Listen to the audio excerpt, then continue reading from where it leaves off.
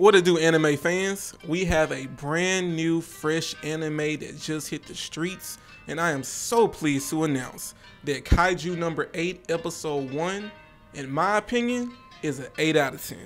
What to do? I'm Stu. Let me be your anime guy. You liked it, don't it? I know, I know. But anyway, let's get into this. Kaiju number 8, y'all, was great. And you already know I was gonna probably like it, like me being into the Godzillas and the Kongs and all of the other kaiju and whatnot. I just think that I think kaiju as a concept are very cool and very interesting. So you already knew I was probably gonna love this show.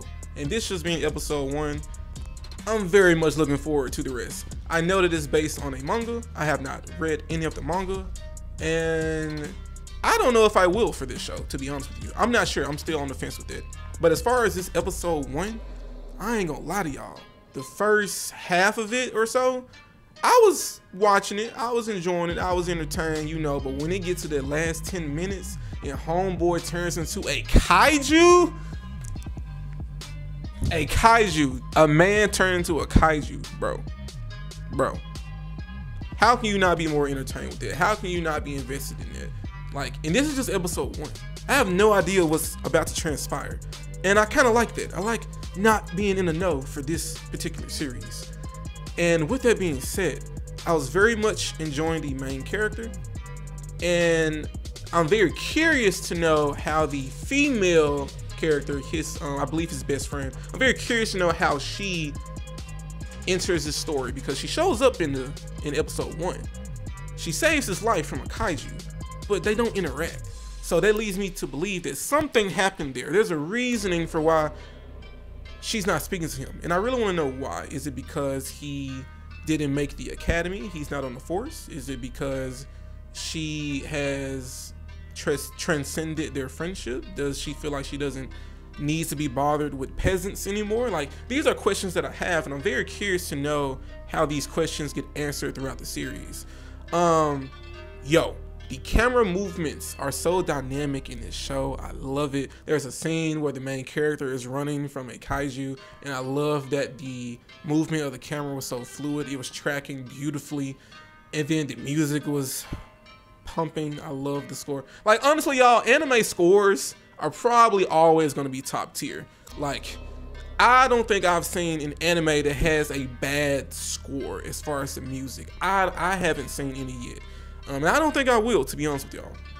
Um, but yeah, I'm very much invested in the show now.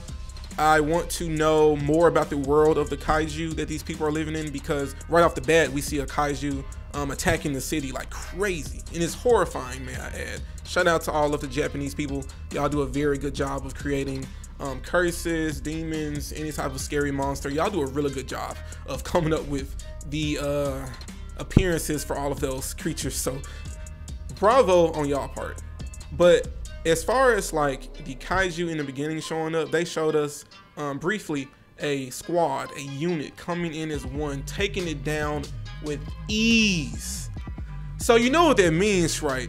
I'm assuming that further down the line, there are gonna be kaiju. They're like tough. They're like boss level. So I'm wondering if the unit that we saw in the beginning of, the, of episode one are they like actually good? Or is it that they fought a weak kaiju and they're just you know they just outmatched the kaiju? But i want to see them like fight a kaiju that's like really about their life. That's what i'm excited to see. I'm sure that'll happen at some point in the show. Y'all that girl said we are gonna put it down. The context to that is really cool considering that she's gonna have to put down her best friend or past best friend. I'm very excited to see how that all unfolds because I'm gonna imagine that the guy turning into the kaiju is gonna become like tough to deal with. I'm assuming he's gonna, you know, master his newfound abilities, um, becoming a kaiju. And I know she's tough. Like obviously she a top dog. Like you call her in, whatever it is, they're getting put down. They're getting sent in a box. Like they going in the dirt. So I'm very much excited and interested to see how the face off is gonna be between the two. Cause I'm assuming he's also gonna be like, no, don't kill me. I'm me. You know me. Yada yada yada.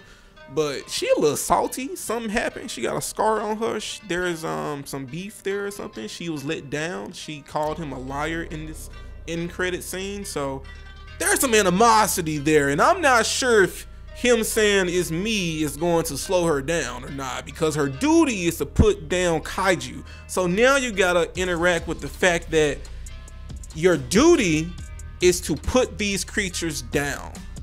But what do you do with that when those when, when one of those creatures is someone you used to be really close to? And that, ladies and gentlemen, is why you definitely need to start Kaiju number eight. I'm gonna give Kaiju number eight a eight out of ten. I can't wait for the next episode to drop. Let me know what you think. Have you seen it? Um, if not, what are you waiting for? Go ahead and dive in while it's just one episode so you don't fall behind because I'm pretty sure you're gonna very much enjoy this show. Um, let me know what you thought down below. Subscribe. As always, peace.